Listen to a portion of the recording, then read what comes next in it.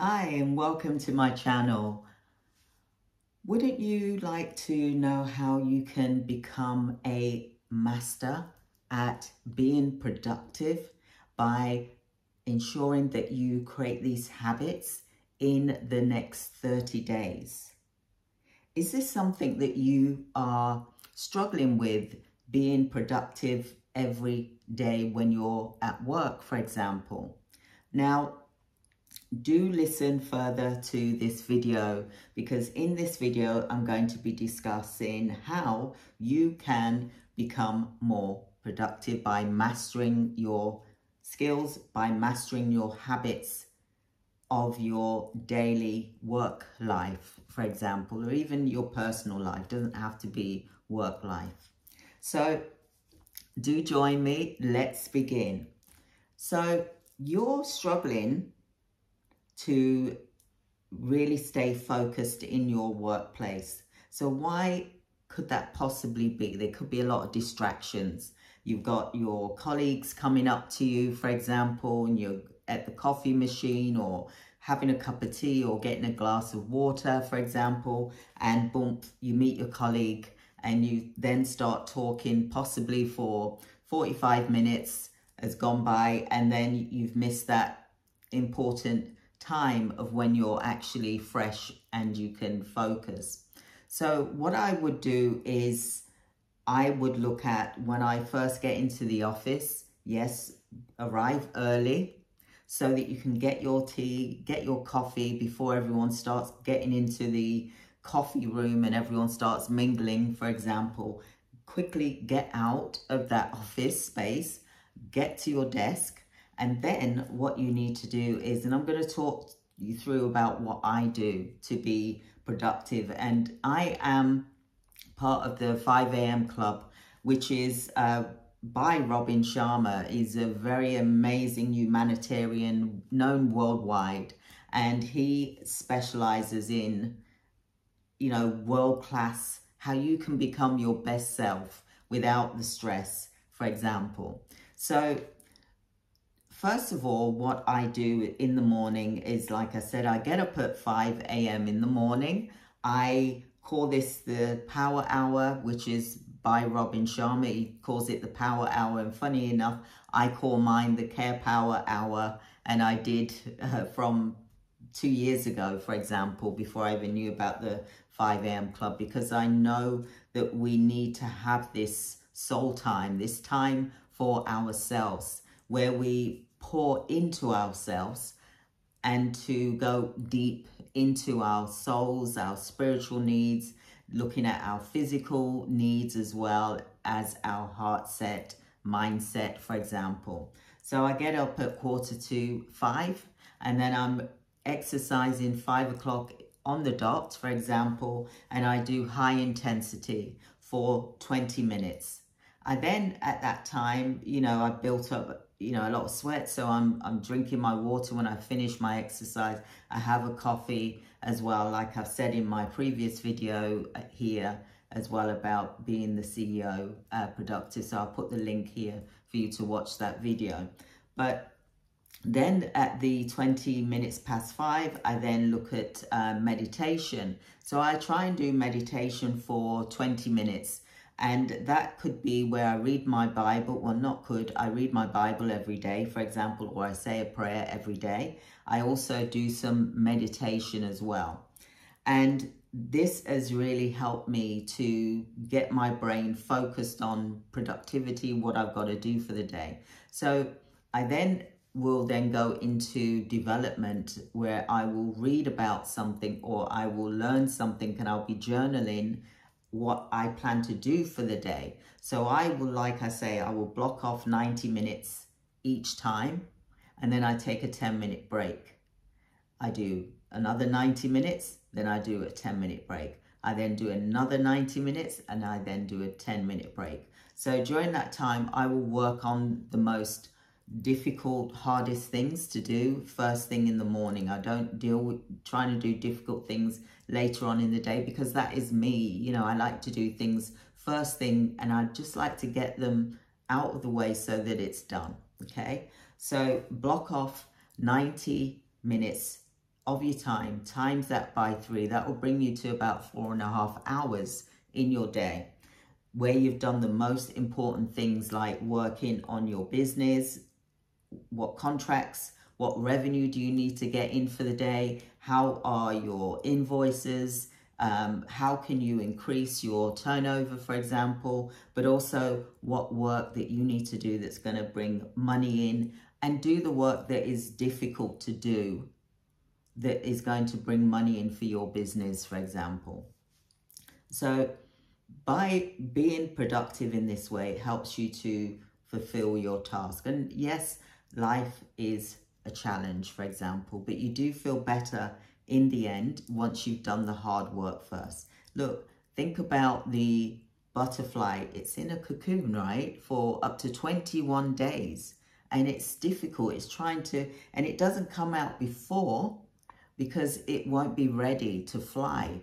So if that butterfly was to burst out of its cocoon before it's ready and it tries to fly, it's going to wither and its wings aren't formed, so it's not going to be able to, to fly properly, right? So you're the same in that way. And I'm trying to connect with you so that you understand the dynamics here is that, you know, it's just like another explanation I'll explain. A great performer um, who's now passed away, Kobe, for example, the basketball player, played for Lakers.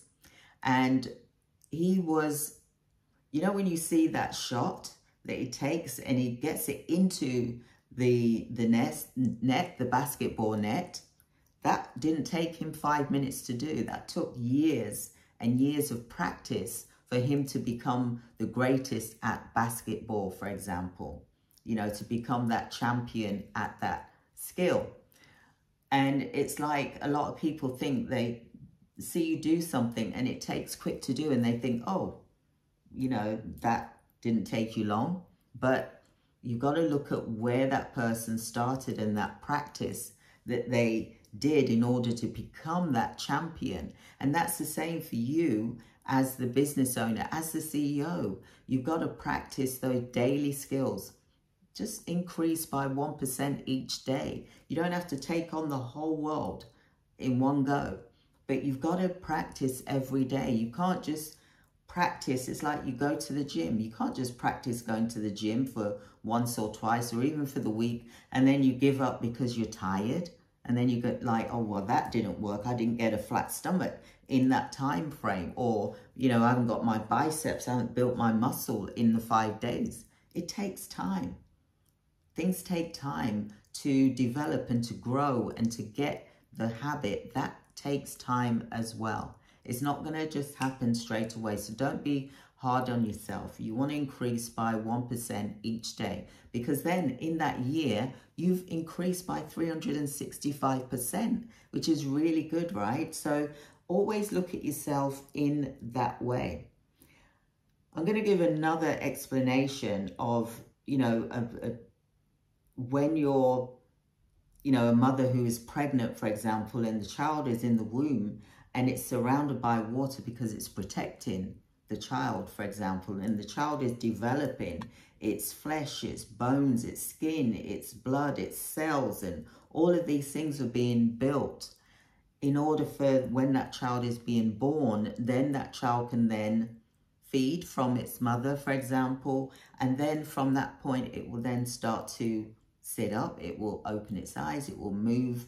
It has to practice all of these things in order to get to adulthood. You don't just become an adult instantly. You've got to work at it. It's like with me with my exercise. I didn't just suddenly, you know, exercise and then think, oh, you know, I've been doing this for two months. I'll stop now. I have to do it every day because if I stop, then I can put the weight back on. So the habit has to keep going. But I love what I do because I've been used to doing it for years. So I actually enjoy it. If I don't, if I don't do it, I think, oh, I haven't done it. I need to do it, you know? So it's like I don't, I don't drink and I haven't done so for years, but that's my choice. It's a habit that I didn't want to, to have because there's good habits And then there's bad habits that's going to stop you from growing. And I didn't want to stop myself from growing. I want to be the highest version of myself. And yeah, I make mistakes. I am not a guru. I'm not your guru. I'm not perfect. We are human beings. You know, we we just have to try and do the best that we can do. And I want to be the best version of myself. So that's why I've created these daily habits. And with this daily habit, it's enabled me to be more productive in my business and be able to, to scan like the hawk who is up, observing things from high up and looking down to see what's going. You don't see the hawk on the floor looking up and watching what's going on. The hawk is actually up high, watching what's happening, see what prey that the hawk can go and get to feed, for example. Okay, so you as the business owner need to look at creating habits, good habits, because you create those habits daily, like that basketball player, Kobe, for example, Kobe Bryant um, is passed away now, but you know, that basketball player, he practiced those shots so that when he was at the game, he just boom, got it in there straight away. What a problem. It, he made it look so easy, right? He was so competitive. Some of the players didn't like it because he was just very high pressured. Even his coach, he would pressure his coach. You know, he would be training from morning to tonight on, you know, getting the ball in the net so that he was a perfection, you know, and it takes time. It takes years to get to that level. It doesn't just instant. You got to practice and it takes years. It's a compounding effect and your habit is a compounding effect that you have to practice daily so that eventually you're going to become world class. You're going to become a master at your field of what you do because you have studied it and you have looked at what works and you've looked at what doesn't work. Yes, you're going to fail. Just like with Kobe, you know, when he does those shots and he's missed, he's failed. But did he stop? No, he carried on until he got it right. He perfected it. You know, we're not perfect. We're human beings. And failure is not a bad thing. Failure is success because that is your growth. And when you feel pain, when you feel stress, you got to look at what the opportunities are here for you because that is your growth. It's your growth for you to grow and to develop.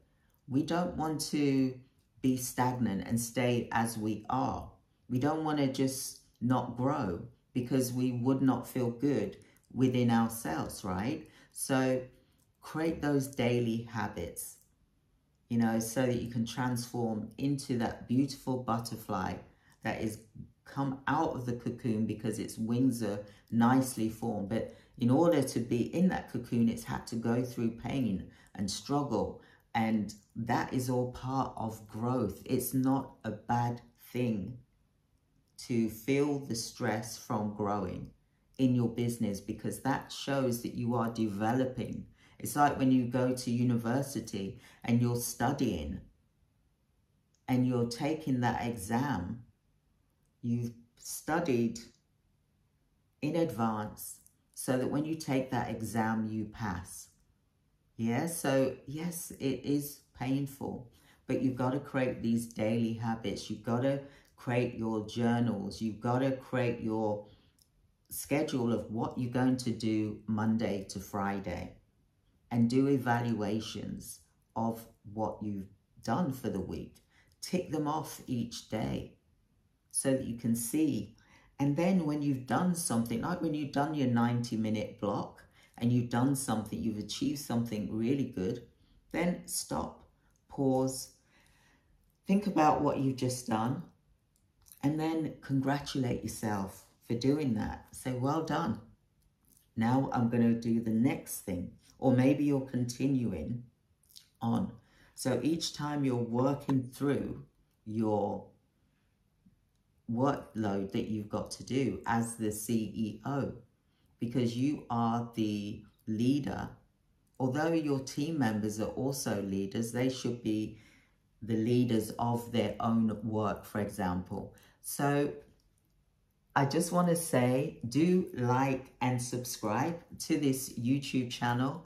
And I hope that you've enjoyed today's training and look for the next video here or here somewhere. And what I want you to do is to watch them so that you can learn about your daily habits and how they can really improve your life by having these habits that are going to create fulfillment and enjoyment for you in your life. So I hope that you've enjoyed today's training. I've really enjoyed speaking with you. Like I said, do like and subscribe and stay tuned for the next video. Have a blessed day, everyone. Thank you. Goodbye.